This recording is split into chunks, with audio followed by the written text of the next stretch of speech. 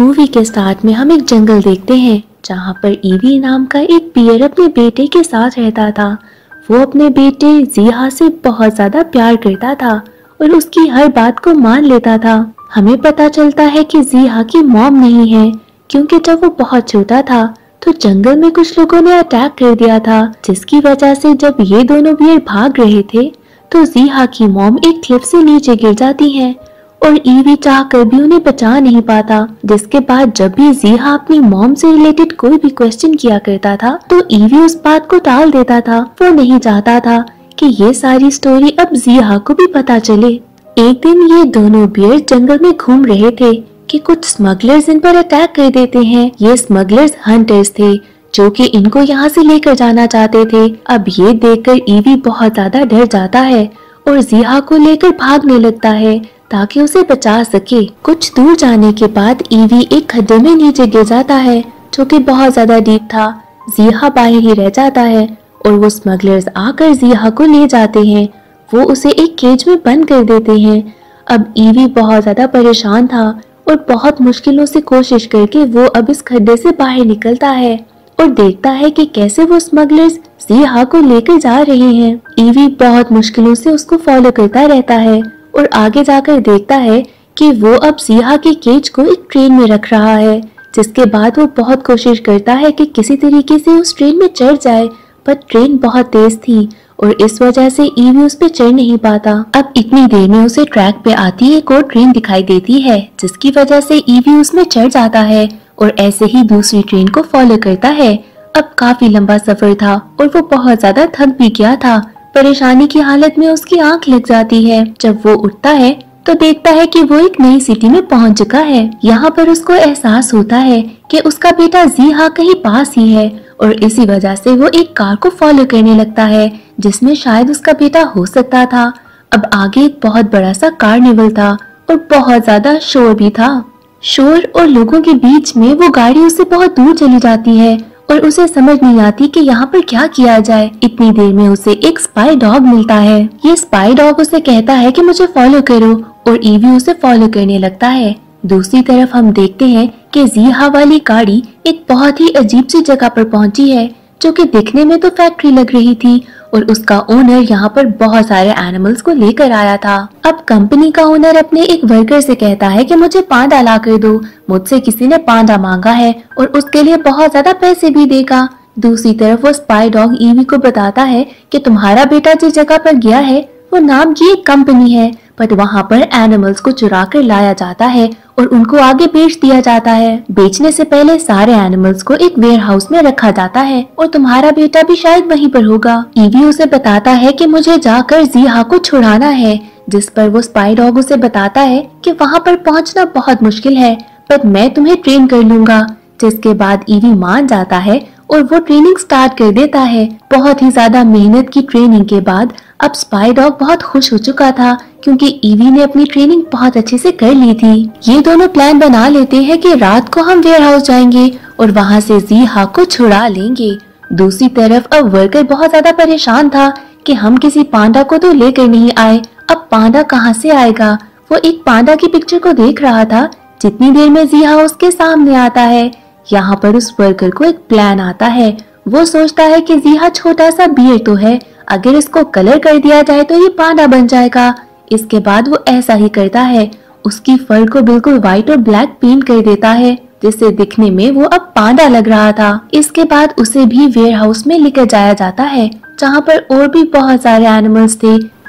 ये सब एनिमल्स यहाँ पर इसीलिए लाए गए थे ताकि इनको स्मगल करके बेचा जा सके। अब क्योंकि जी हाथों पांडा बन चुका था तो वो वर्कर बताता है ओनर को कि अब पांडा अरेंज हो चुका है, जिसके बाद ओनर कहता है कि आज की रात की शिपमेंट में ही सारे एनिमल्स को दे दिया जाएगा। अब रात होती है तो वो स्पाई डॉग ईवी के साथ मिलकर वेयर हाउस जाने का प्लान करता है। यहाँ पर वो उसे एक कॉस्ट्यूम भी देता है, जो कि काफ़ी हाईटेक था। इसकी मदद से ये दोनों बहुत आराम से उस वेयर हाउस तक पहुँच जाते हैं। इसके बाद ये लोग वहाँ के गार्ड के ऊपर अटैक करते हैं और उसकी यूनिफॉर्म पहनकर वेयर हाउस के अंदर चले जाते हैं। दूसरी तरफ़ जीहा देखता है कि उसका केज खुला रह गया है। अब वो आराम से बाहर आ जाता है। वहाँ पर और भी बहुत सारे एनिमल्स थे और जीहा बाकी सबसे दोस्ती कर लेता है, पर उनके केज लॉक थे। वो बहुत कोशिश करता है कि शायद किसी तरीके से इनको बाहर निकाल ले। इन सारे केजेस को खोलने के लिए पास की ज़रूरत थी, जो कि उसके पास नहीं था। इतनी ही देर में वो वर्कर वापस आता है और देखता है कि जीहा अपने केज से बाहर है। वो उसे उठाकर वापस उसके केज में रख देता है। पर इस सब के बीच में जीहा बहुत चलाकी से उसकी पॉकेट में पड़े सिक्योरिटी कार्ड को बाहर निकाल लेता है, जिसके बाद जब वो वर्कर वहाँ से चला जाता है तो खुद को फ्री करता है। और इसके बाद एक एक करके सारे केजेस को खोल देता है। सारे एनिमल्स वहाँ से बाहर निकलकर फ्री हो जाते हैं। दूसरी तरफ़ ईवी अब उस डॉग के साथ अंदर आ चुका था। यहाँ पर तो कोई उसे पहचान नहीं रहा था क्योंकि उसने उस सिक्योरिटी गार्ड का कॉस्ट्यूम पहना था। अब मजीद अंदर जाने के लिए उसको एक गार्ड की ज़रूरत थी, जो उसके पास था नहीं। यहाँ पर बहुत सारे गार्ड और आ जाते हैं, और उनको शक होता है कि ये वो गार्ड नहीं, कोई और है। पर इससे पहले कि वो कुछ कर पाते ईवी तो उन सब पर टूट पड़ता है। बहुत बुरी लड़ाई होती है और सब के सबको ढेर कर देता है। इतनी देर में वो वाला वर्कर भी यहाँ पर पहुँच जाता है, जो देखता है कि बाकी सारे गार्ड्स तो यहाँ पर गिरे पड़े हैं। उसको कुछ समझ नहीं आती, पर इससे पहले कि वो कुछ रिएक्ट करता ईवी उसे भी बेहोश कर देता है और उसका वो कार्ड बाहर निकाल लेता है, जिसके बाद वो उस वेयर हाउस के पार्ट में जाते हैं। वहाँ पर उसे कोई भी नहीं मिलता, बस चेयर के ऊपर एक आदमी पड़ा था, जो कि बांधा हुआ था। उसे देखकर तो वो स्पाई डॉग बहुत ज़्यादा रोने लगता है।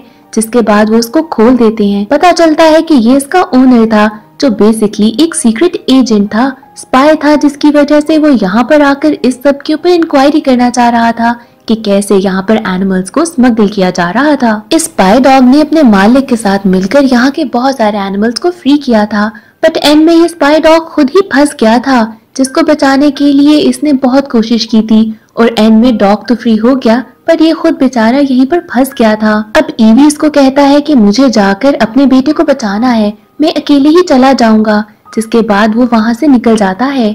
अब दूसरी तरफ़ हम देखते हैं कि जीहा ने सारे एनिमल्स को फ्री कर दिया है और वो गेट से बाहर भाग रहे हैं। इतने ज़्यादा एनिमल्स थे कि सिक्योरिटी भी इनको कंट्रोल नहीं कर पा रही थी। बीच में यहाँ पर ईवी भी आ जाता है, लेकिन सारे एनिमल्स को लगता है कि ये भी एक गार्ड है तो वो उसको भी मारते मारते बाहर निकलने लगते हैं। यहाँ पर तो कुछ समझ नहीं आ रही थी। सारे एनिमल्स बिल्कुल फ्री और आज़ाद हो चुके थे। ओनर को जब ये बात पता चलती है तो वो ऑर्डर देता है कि वेयर हाउस के सारे सारे दरवाजों को बंद कर दिया जाए, ताकि कोई भी बाहर ना निकल सके। इतनी देर में अब यहाँ पर ईवी आवाज़ देता है जीहा को। जीहा भी समझ आता है कि ये सिक्योरिटी गार्ड नहीं, बल्कि उसके अपने फादर हैं। बट इससे पहले कि ये दोनों एक दूसरे से मिल पाते, बीच के काफ़ी दरवाजे बंद हो चुके थे और ये दोनों अलग हो गए थे। अब यहाँ पर ईवी के पास वही स्पाई डॉग आता है, पर ईवी उस पर काफ़ी ज़्यादा गुस्सा था कि तुम अपने फ़ायदे के लिए मुझे यहाँ पर लेकर आए हो। तुम तो चाहते थे कि तुम अपने मालिक को यहाँ से फ्री कर दो। तुम्हें तो कोई इंटरेस्ट ही नहीं था मेरे बेटे को फ्री करने में। इतनी देर में यहाँ पर काफ़ी ज़्यादा एजेंट्स आ गए थे। वो तो चाहते थे कि ईवी को किसी तरीके से बर्बाद कर दिया जाए, क्योंकि सारा प्लान खराब हो रहा था।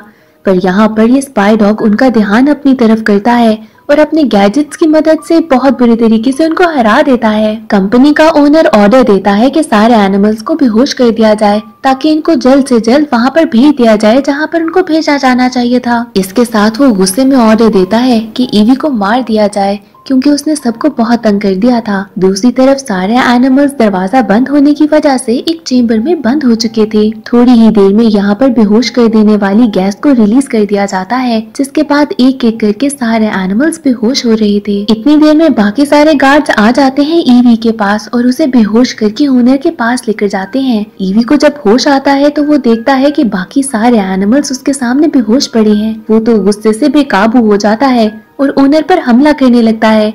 पर यहाँ पर वो उसे इलेक्ट्रिक शॉक देकर दोबारा से बेहोश कर देता है। बाकी सारे एनिमल सब बेहोश थे तो इसी हालत में उनको ट्रेन के ऊपर लोड किया जा रहा था। यहाँ पर काफ़ी कार स्टार्ट हो चुकी थी। रास्ते में थोड़ी बम्पी रोड थी जिसकी वजह से सारे एनिमल्स उठ गए और उनको जब पता चला कि वो फिर से केज में हैं, सब बहुत ज़्यादा उदास हो जाते हैं। यहाँ पर जी हा दूसरे केज में अपने डैड को देखता है जो कि बाहर था। यहाँ पर दोबारा से ईवी को बहुत गुस्सा आता है और वो अपने आप को कैसे फ्री कर लेता है? इसके बाद वो जिया को आज़ाद करने की कोशिश करता है, पर यहाँ पर ओनर अपने गार्ड्स को फिर कहता है कि ईवी को मार दिया जाए। बाकी सारे गार्ड्स को तो बहुत बुरी तरीके से ईवी मार देता है, जिसके बाद अब ओनर सोचता है कि अपनी गन निकाल ली जाए और ईवी को एक ही बार खत्म कर दिया जाए। इतनी देर में अब वहाँ पर जिया रो रहा था। ईवी ये सुनकर वहाँ पहुँच जाता है और अपने बेटे के साथ वहाँ के आसपास के जितने भी केजेस में एनिमल्स थे, उनको फ्री कर देता है। एक एनिमल उसे बताता है कि अभी और भी बहुत सारे एनिमल्स हैं जिनको हमें फ्री करना है। ये सब मिलकर ईवी के साथ टीम अप कर लेते हैं, ताकि गार्ड्स को किसी तरीके से हरा दिया जाए और बाकी एनिमल्स को भी फ्री कर दिया जाए। अब इस सब के बीच में एक गार्ड आकर सिहा को अपने साथ ले जाता है। ईवी उसको फॉलो करता है और उसे मार के अपने बेटे को फ्री कर देता है। इतनी देर में अब ओनर उसके सामने आता है गन को लेकर, जहाँ पर इसके बाद ये ट्रेन के टॉप पर चले जाते हैं। वहाँ पे पता चलता है कि कुछ एनिमल्स को पकड़ लिया गया है। इसके बाद तो इनको लग रहा था कि अब कोई रास्ता नहीं। ईवी तो पक्का पक्का मर जाएगा, पर यहाँ पर वो एजेंट अपने स्पाई डॉग के साथ ऊपर पहुँच जाता है एक हेलीकॉप्टर में। ताकि इनकी मदद कर सके। ये सब कुछ देखकर ये भी बहुत ज़्यादा खुश होता है। बाकी सारे गार्ड्स तो घबरा के नीचे पानी में जंप कर देते हैं, क्योंकि उनको तो लग रहा था कि अब तो कोई भी बचा नहीं सकेगा उनको। अब कंट्रोल रूम बिल्कुल ही लॉक हो चुका था। ट्रेन आउट ऑफ़ कंट्रोल थी। पता नहीं था कि अब इसको कंट्रोल कैसे किया जाए। यहाँ पर ओनर एक ग्लाइडर लेकर ट्रेन से जंप कर देता है, पर यहाँ पर स्पाई डॉग भी अपने ग्लाइडर के थ्रू उसको फॉलो करता है। और बहुत देर के बाद उसको एट लास्ट हरा देता है, जिसके बाद वो ओनर नीचे गिरकर मर जाता है। अब ट्रेन को कंट्रोल करना बहुत ज़रूरी था, क्योंकि सारे एनिमल्स इसी ट्रेन के ऊपर थे, जिसके बाद ईवी प्लान करता है कि कंट्रोल रूम वाले पार्ट को बाकी ट्रेन से अलग कर दिया जाए, जिसके बाद वो लॉक को खोलने लग जाते हैं। काफ़ी मेहनत के बाद कंट्रोलर रूम वाला पार्ट बाकी ट्रेन से अलग हो जाता है, पर एक मसला भी होता है। ईवी उस कंट्रोलर रूम वाले पार्ट के साथ आगे चला जाता है जो कि अब बिल्कुल आउट ऑफ़ कंट्रोल हो चुका था और ऐसे ही नीचे क्रैश कर जाता है। जब जीहा ये देखता है तो रोने लगता है, क्योंकि ईवी भी उसके साथ नीचे गिर चुका था। पर यहाँ पर अचानक से ईवी वापस आता है, जिसको देखकर जीहा बहुत ज़्यादा खुश होता है। बाकी सारे एनिमल्स अब सेफ़ थे। ऐसे ही अब स्पाई की मदद से बाकी सारे गार्ड्स को भी पकड़ लिया जाता है और इस पूरी कंपनी को बंद कर देते हैं। स्पाई डॉग की अपनी मेहनत की वजह से इतने बड़े मिशन को कंप्लीट किया गया था, जिसकी वजह से उसको यहाँ का एक बहुत बड़ा सा रिवॉर्ड दिया जाता है। उसकी कंपनी में बहुत अच्छी पोजीशन बन जाती है, जिसके बाद बहुत सारे एनिमल्स को ट्रेन करने का भी काम उसे दिया जाता है, ताकि वो इसी तरह से बाकी एनिमल्स की मदद कर सकें और इसके साथ मूवी एंड हो जाती है।